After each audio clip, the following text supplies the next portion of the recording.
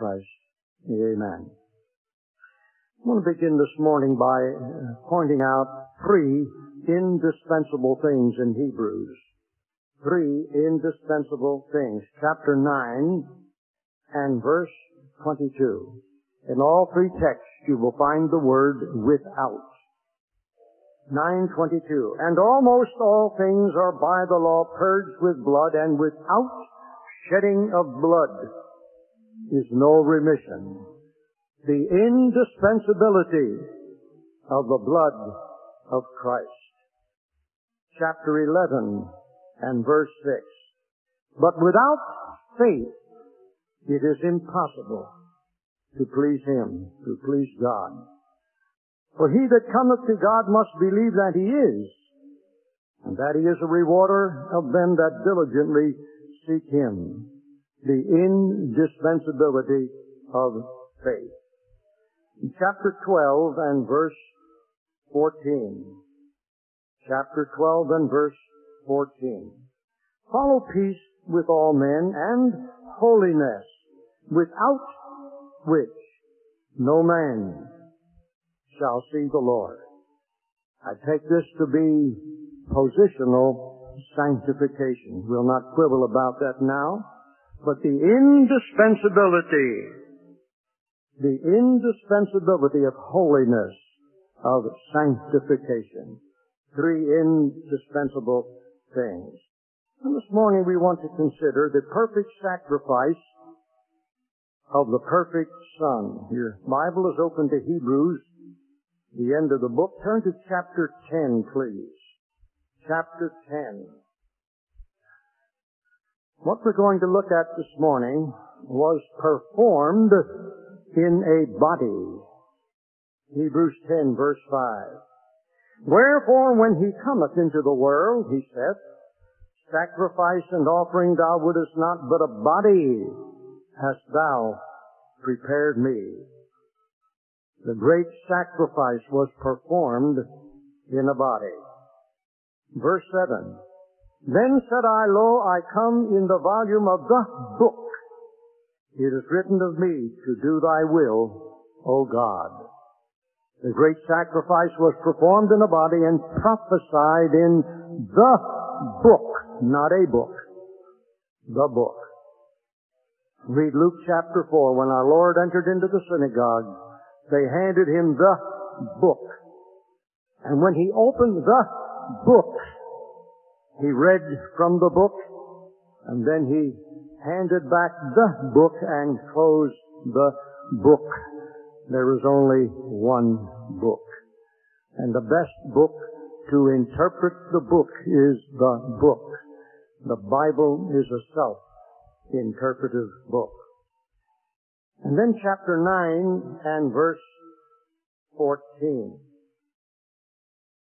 How much more shall the blood of Christ, who through the eternal Spirit offered himself without spot to God, purge your conscience from dead works to serve the living God? He was performed in a body, prophesied in the book, and purchased with his blood. Chapter 10 and verse 14. For by one offering he hath perfected forever them that are sanctified. Performed in the body, prophesied in the book, purchased with his blood, and will be perfected in the believer. Ephesians 2 7.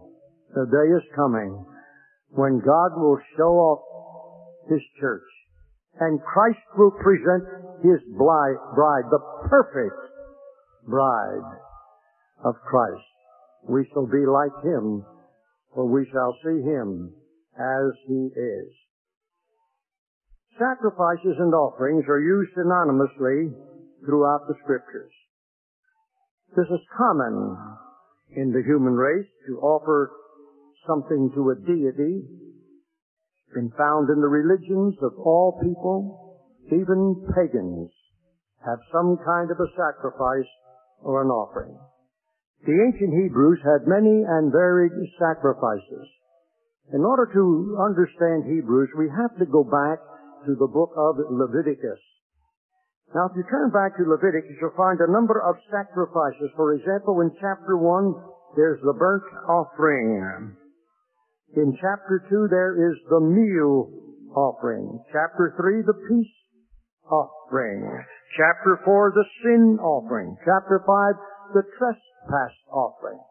If you go through the reading of Leviticus and note the sacrifices and offerings, you will discover that blood had to be shed before any sacrifice could be offered.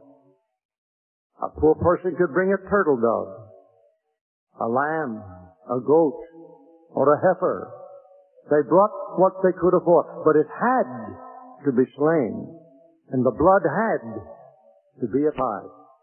But all of the sacrifices and offerings in the nation of Israel could never take away sin. And these Jewish converts, these Hebrew Christians needed to know that the sacrifices of the Old Testament under the Old Covenant could never take away sin.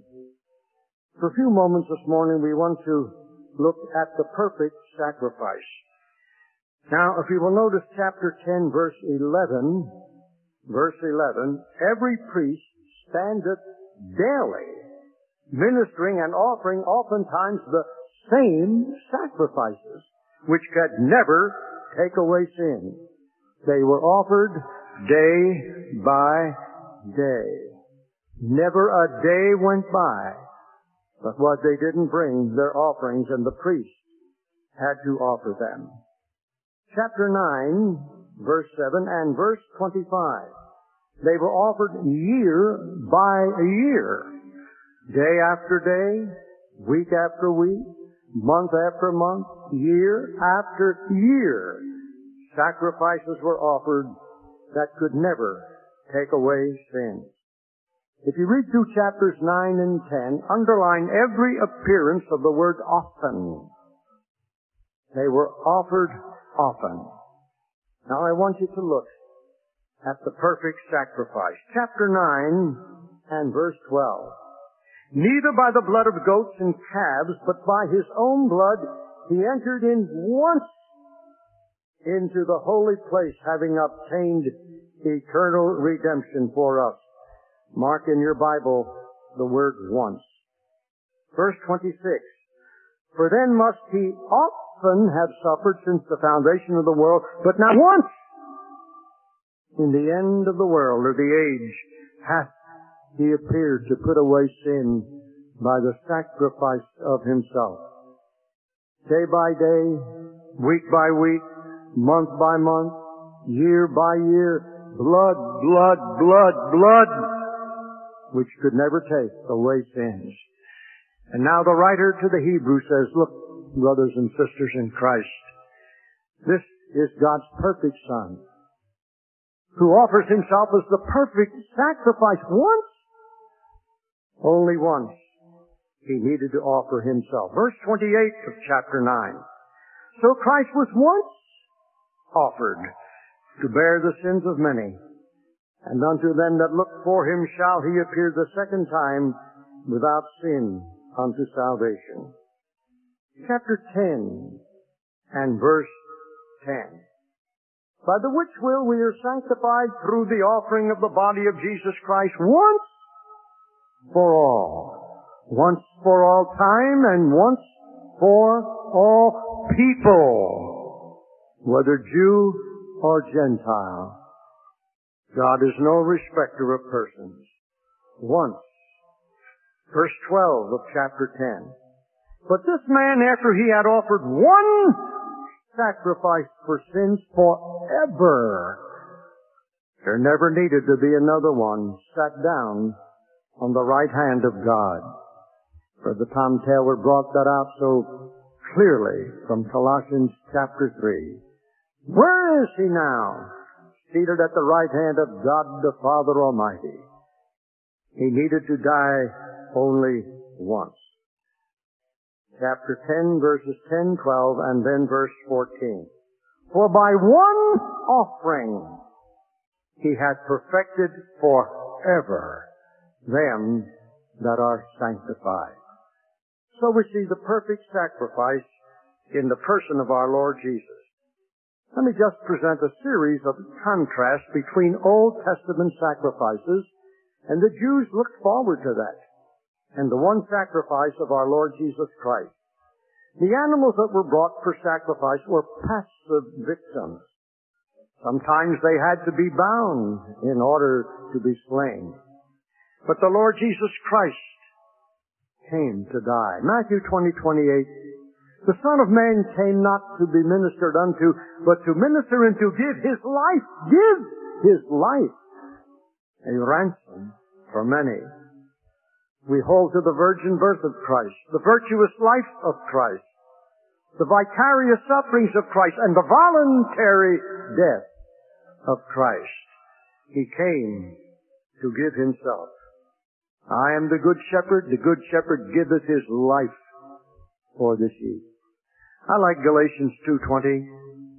I have been crucified with Christ. Nevertheless I live, yet not I, but Christ liveth in me. And the life which I now live in the flesh, I live by the faith of the Son of God who loved me and gave himself for me. A voluntary sacrifice, not a passive victim. You will notice throughout the Old Testament that all of the offerings, the sacrifices, had to be without blemish. Now the priests did the checking of these sacrifices. I'm sure that they were sincere and earnest, but not always capable of detecting a flaw that might be in the body of any one of those animal sacrifices. Begin with verse 5 of Exodus 12 and through the book of Leviticus 19 times, and you'll find the phrase without blemish. It had to be a sacrifice without blemish. Again I say, viewed by human priests, and they could be wrong. I'm sure not every animal sacrifice was totally without blemish. But when the perfect sacrifice presented himself, he was without blemish. Hebrews chapter 9 and verse 14. Chapter 9 and verse 14. How much more shall the blood of Christ, who through the eternal Spirit offered himself without spot to God,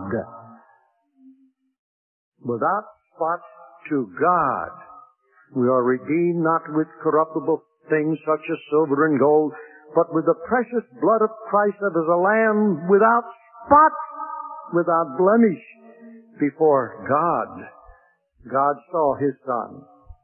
In the breaking of the bread, one of the younger brethren made some comments on the sinlessness of Christ. Sinlessness of Christ. He knew no sin. He did no sin. He was without sin before God. God's holy Lamb. Behold, the Lamb of God, which taketh away the sin of the world. Then there was something else about the sacrifice. The sacrifice of the Lord Jesus did something that Old Testament sacrifices could never do. Deal with the conscience. What is conscience? It's that faculty within each one of us which decides as to the moral quality of our thoughts and our deeds It's made up of two words really, the prefix con meaning with and science meaning knowledge, knowledge wit. God has given to each one of us a conscience whereby we know right from wrong. We knew when we do wrong. And the Old Testament sacrifices could never deal with conscience. Hebrews chapter 9 and this time look at verse 9. Hebrews 9 9. 9, 9 8 says, The Holy Ghost, this signifying that the way into the holiest of all was not yet made manifest while as the first tabernacle was yet standing, which was a figure or a type for the time then present, in which were offered both gifts and sacrifices that could not make him that did the service perfect as pertaining to the conscience. Old Testament sacrifices could never deal with the conscience. Now look at chapter 10. Chapter 10, reading from verse 1. For the law having a shadow of good things to come and not the very image of the things, can never with those sacrifices which they offered year by year continually make the comers thereunto perfect. For then would they not have ceased to be offered? Because that the worshippers once purged should have had no more conscience of sins. It's a wonderful thing that the sacrifice of the Lord Jesus Christ purges our conscience. We no longer are troubled about the sin. We're sorry for our sins. What a wonderful thing Christ has done for us. Not only in paying the penalty for our sins, but giving to us a conscience that is now unburdened because Jesus paid it all. All to Him we owe. Sin had left a crimson stain, but He washed it white as snow. You ever recall your past sins? I'm sure we all have this experience. Yet, it's a great blessing and a joy to put your head on your pillow at night and know that the sacrifice of God's perfect Son has not only delivered us from the guilt and penalty of our sins and made provision that we can have victory over the practice of sins, but also deals with the conscience as well. No more trouble in the conscience. The perfect sacrifice of our Lord Jesus Christ. Now the perfect Son offered the perfect sacrifice to provide a perfect salvation. Let's go back to Hebrews chapter 2. Hebrews chapter 2. Beginning with um, verse 1. Therefore, now go back and see what was said about the Lord Jesus. In the last verse of chapter 1, we're told that the angels are ministering spirits sent forth to minister for them who shall be heirs of salvation. Now the writer is writing to Christian people. What could be involved in being heirs of salvation? There is an inheritance. Not all believers will receive the same degree of reward in heaven. Therefore we ought to give the more earnest heed to the things which we have heard, lest at any time we should let them slip or drift. For if the word spoken by angels was steadfast, and every transgression and disobedience received a just recompense of reward, he's not dealing with salvation, he's dealing with reward. How shall we escape? Escape what? The reward this inheritance if we neglect so great salvation. Not if we reject it, we already have it. But we can neglect it. And there is a reward to be given to or withheld from every believer if we neglect this great salvation. Turn for a moment to 2 Corinthians chapter 5. I think our rewards uh, extend into the literal kingdom on earth, the millennial reign of Christ. 2 Corinthians chapter 5 is a text that appears two times in the New Testament. Romans chapter 5 verse 10 and 2 Corinthians chapter 5 verse 10. Look at verse 10 of 2 Corinthians 5. For we must all appear before the judgment seat of Christ that everyone may receive the things done in his body according to that he hath done, whether it be good or bad. Please note, this is written to believers. Begin with verse 1 and read on down to verse 10. Everything that's mentioned in those first 10 verses must apply only to Christians. None of it could apply to an unbeliever. So when we come to verse 10, we must. It is inescapable. We will be there.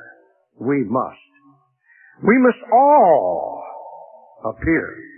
It is not only inescapable, it is inclusive.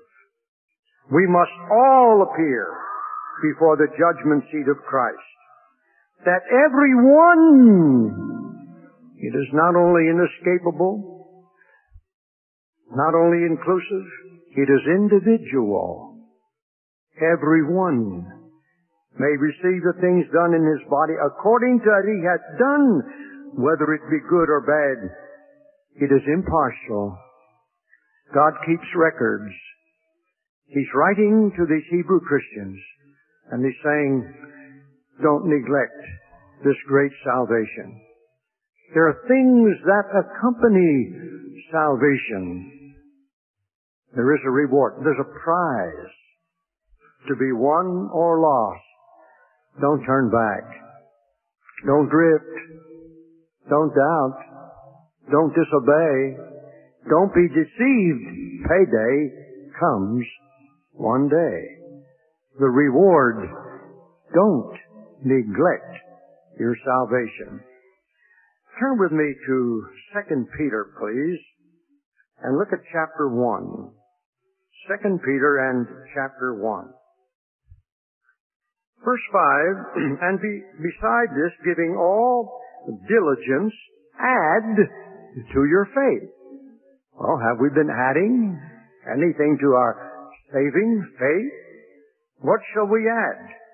Virtue, knowledge, temperance, patience, godliness, brotherly kindness, charity, are we adding anything to our faith? 1 Peter 2 2 is newborn babes desire the sincere milk of the word that you may grow thereby. Am I adding to my faith? Have I accomplished all these things I'm to add in 2 Peter 1? Is there no room for improvement? Or am I neglecting this perfect salvation. Look at Galatians chapter 5. Galatians chapter 5. This passage was mentioned in our brother Tom's message on the fruit of the Spirit. Again, we're not arguing whether it's literal or, or plural or singular, fruit or fruits, but the fruit of the Spirit, beginning with verse 22. But the fruit of the Spirit is love. Have we reached the peak of this fruit? Is there any season of life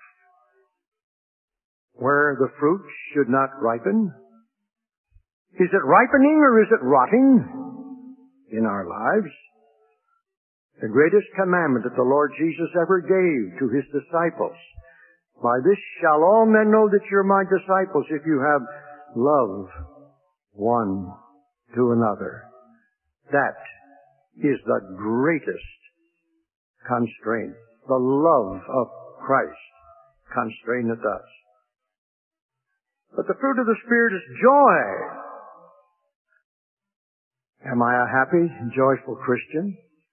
Philippians 4 4, rejoice in the Lord always. And again, I say rejoice. Have you lost your joy? Have you lost your song? Are you neglecting this great salvation? There are things that accompany salvation. Am I ever too old for the fruit of the Spirit to ripen in my life? I can answer for myself. There's lots of room for improvement. Peace Oh, we have peace with God. What about peace with one another? What about the peace, the rest, the quietness of soul that comes to those who trust God? Is the fruit obvious? Is it ripening? Am I ever too old for the fruit of the Spirit to ripen in my life? Love joy, peace, long suffering. Did we run out of patience? How quick does it take us to blow our stack? Hmm? Is there room for the fruit to ripen? Gentleness. Goodness. Faith. Meekness. Temperance. Self-control. The fruit of the Spirit. Have we reached the peak? Or is there room for the fruit to ripen? As we examine these key words, I must ask myself, am I neglecting this great salvation? We're going to look at this salvation in its three tenses. We won't take time this morning just to prepare our hearts Salvation is in three steps or stages and has to do with three tenses of time. And those three steps or stages have to do with three of the great doctrines that come under the umbrella of salvation or soteriology. The first one is the doctrine of justification. I have been saved from the penalty of my sins. Therefore, being justified by faith, declared righteous by faith, we have peace with God through our Lord Jesus Christ. The doctrine of justification. That takes care of my eternal salvation, of which the writer to the Hebrews spoke. My eternal salvation. Having been justified by God, that declaration can never be reversed. God can't reverse that. God has declared us righteous. He has imputed to us the righteousness of His Son. I have been saved from the penalty of my sins. But as we shall see in our next study, salvation is also in the present tense. Am I being saved from the practice of sins? I'm not speaking only of the moral sins that have to do with immorality, the sins of the body, of the flesh. What about the sins of the spirit? David prayed, create in me a clean heart, O God, and renew a right spirit within me. Am I guilty of the sin of a wrong spirit? The sin of a wrong spirit? That's a sin. Am I being saved from the practice of sins? That's the doctrine of sanctification. Salvation in that second stage. Then we're looking forward to salvation in its final stage. When our Lord Jesus returns, we shall be like Him, never to be faced with temptation again, saved from the, not only the practice of sin, but from the possibility of sin. That's the doctrine of glorification. They all come under the umbrella of salvation. Have you been saved from the guilt and penalty of your sins? Have you been born again? If not, God wants to justify you. He wants to declare you righteous. And only God can do that. No one else can do it. Only God can do that. But He wants to justify you if you've never been saved. He wants to save you from the penalty of your sins. And to those of us who have been saved, who have been declared righteous by God, what about Step number two. Am I being saved from the practice of sins? What about sanctification? That comes under the umbrella of salvation. That's a part of the great doctrine of soteriology. Am I being saved from the practice of sins? The sins of the Spirit. The sin of unforgiveness I spoke in a church in West Virginia on Mother's Day many years ago. At the end of the service, a lady came forward weeping. She said, will you please pray for me? I said, you must have a problem. She said, I do. I said, what do you want me to pray about? She said, I'll get home safely tonight. She said, my mother, who is a Christian, and I, who am a Christian, have not spoken to each other for 18 years. Mother and daughter. It was Mother's Day night. She said, if God lets me get home tonight, I want to call my mother and say, Mother, I called to tell you I'm sorry for my behavior. I want you to forgive me, and I do love you. 18 years living in sin. A saved person claiming eternal security. 18 years living in sin. Christians don't speak to one another. They avoid one another living in sin. Are we neglecting our great salvation? Well, the best is yet to be, but en route to the glorification, we have to be busy about practical sanctification. We'll pursue these in our next study. Let us pray. Father, we thank Thee for Thy holy word, for its simplicity, and yet for its profundity. We thank Thee, Lord, that the message is so clear. There's no way of mistaking it. All we need now, Father, is to heed what we have heard, is to put into practice that which has been enjoined upon us as thy children. Thank you, Lord, for all who came this morning. And I thank you, Father, for what thy word has said to me. And if I know my own heart this morning, I want to press toward the mark for the prize of the high calling of God in Christ Jesus. And what I desire for myself, Lord, I desire for these, my brothers and sisters in Christ.